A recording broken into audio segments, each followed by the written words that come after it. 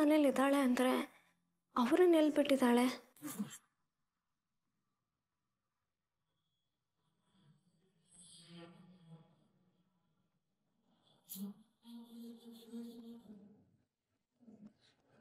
ಸನ್ನಿಧಿ? ಮಾತಾಡಿದ್ಯಾ? ಹಾ ಅಕ್ಕ ಮಾಡ್ದೆ ಬರ್ತೀನಿ ಅಂತ ಹೇಳಿದ್ರು. ಸುಳ್ಳು ಹೇಳ್ತಿದ್ದಾನೆ. ಪ್ರತಿದಿನ ನಾನು ಫೋನ್ ಮಾಡ್ತಾನೆ ಇದ್ದೀನಿ. ಮೊದಲೊಬ್ಬ ವಾಟರ್ ಮ್ಯಾನ್ ಆದವನು ಈಗ ಕಾಂಟ್ರಾಕ್ಟರ್ ಆಗ್ಬಿಟ್ಟಿದ್ದಾನೆ. ಸ್ಟೇಟಸ್ ಬಂದ್ಬಿಟ್ಟಿದೆ.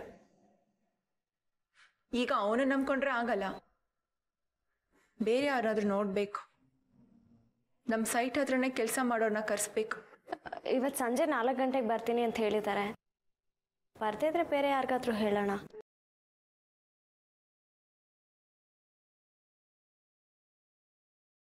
ಆಲ್ ರೈಟ್ ಥ್ಯಾಂಕ್ ಯು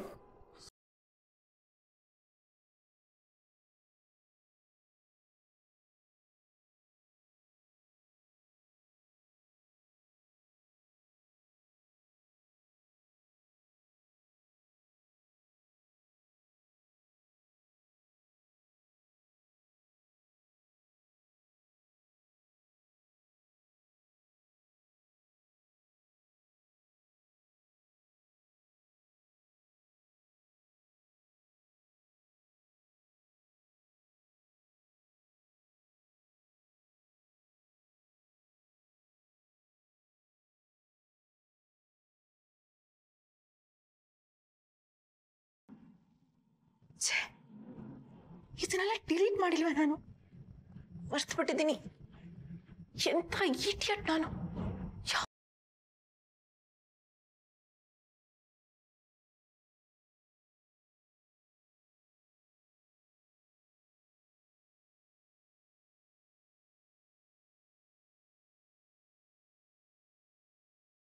ಆಗಿರ್ಬೇಕು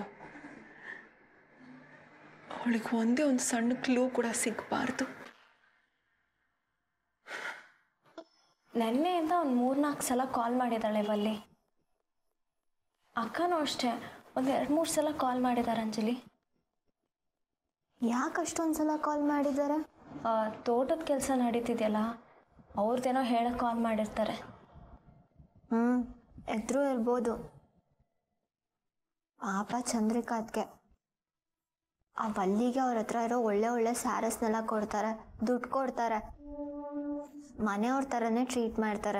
ಅಕ್ಕಂಗೆ ಏನು ಗೊತ್ತು? ವಲ್ಲಿ ಭಾವನ ಬಚ್ಚಿಟ್ಟಿದ್ದಾಳೆ ಅಂತ. ನಾವು ಹೇಳಿದ್ರು ಅಕ್ಕ ನಂಬೋದಿಲ್ಲ. ಇದೆಲ್ಲ ಹೇಗೆ ಸಾಧ್ಯ ಅಂತ ನಮ್ಮನೆ ಕೇಳ್ತಾರೆ. ಅಷ್ಟು ಚೆನ್ನಾಗಿ ಆ ಬಲ್ಲಿ ನಾಟಕ ಆಡ್ತಿದ್ದಾಳೆ. ಹ್ಞೂ ಚಂದ್ರಿಕಾತ್ಗೆ ಎಲ್ಲರೂ ಸುಲಭವಾಗಿ ನಂಬ್ತಾರೆ. ಅವ್ರ ಮುಂದೆ ಯಾರ ಕಣ್ಣೀರು ಹಾಕಿದ್ರೆ ಸಾಕು. ಅವ್ರ ಹತ್ರ ಇರೋದನ್ನೆಲ್ಲ ಕೊಟ್ಬಿಡ್ತಾರೆ. ಹ್ಞೂ ಬಂಗಾರದ ಒಡವೆ ಎಲ್ಲ ಕೊಟ್ಟಿದ್ದಾರೆ ಅಂದ್ರೆ ಯೋಚನೆ ಮಾಡು. ಆ ಬಲ್ಲಿಗೆ ಮನುಷ್ಯತ್ವ ಅನ್ನೋದೇ ಇಲ್ಲ. ಹೇಗಾದರೂ ಮನ್ಸು ಬರುತ್ತೋ ಅಕ್ಕ ಅಂತವ್ರಿಗೆ ಮೋಸ ಮಾಡಕ್ಕೆ? ಇದೆಲ್ಲ ಜಾಸ್ತಿ ದಿನ ನಡೆಯಲ್ಲ ಅದಕ್ಕೆ ಇವಾಗ ನಮಗೆ ಗೊತ್ತಾಗಿದೆಯಲ್ಲ ಮುಂದೆ ಅಪ್ಪ ಅಣ್ಣ ಚಂದ್ರಿಕಾತ್ಗೆ ಎಲ್ರಿಗೂ ಅವಳು ನಿಜವಾದ ಬಣ್ಣ ಗೊತ್ತಾಗುತ್ತೆ. ಅವಳು ಮುಖವಾಡ ಕಳಿಸ್ಬೇಕು ಅಲ್ಲಿ ತನಕ ಏನು ಹೇಳಿದ್ರು ಇವರೆಲ್ಲ ನಂಬಲ್ಲ. ಮೊದಲು ಅಣ್ಣ ಸೇಫಾಗಿ ಮನೆಗೆ ಬರಲಿ. ಆಮೇಲೆ ಅಣ್ಣ ವಿಚಾರಿಸ್ಕೊಳ್ಳೋಣ ಅಣ್ಣಂಗೆ ಏನು ಹಿಂಸೆ ಕೊಡ್ತಿದ್ದಾಳೋ ಅದಕ್ಕೆ ಡಬಲ್ ಟ್ರಿಪಲ್ ಟಾರ್ಚರ್ ಕೊಡ್ಬೇಕು ಅವಳಿಗೆ. ಅಂಜಲಿ ನಾವೇನು ಮಾಡೋದು ಬೇಡ. ಆ ದೇವ್ರಿದಾನೆ ಅವ್ಳು ಮಾಡೋ ಅನ್ಯಾಯಕ್ಕೆ ತಕ್ಕ ಶಿಕ್ಷೆ ಕೊಡ್ತಾನೆ. ಸ್ವಾಮೀಜಿ ಹೇಳಿದ್ರು ಆ ದಿನ ಹತ್ರ ಬರ್ತಿದೆ ಅಂತ.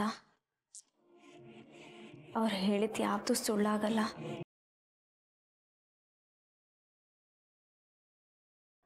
啦啦啦啦啦啦啦啦。啦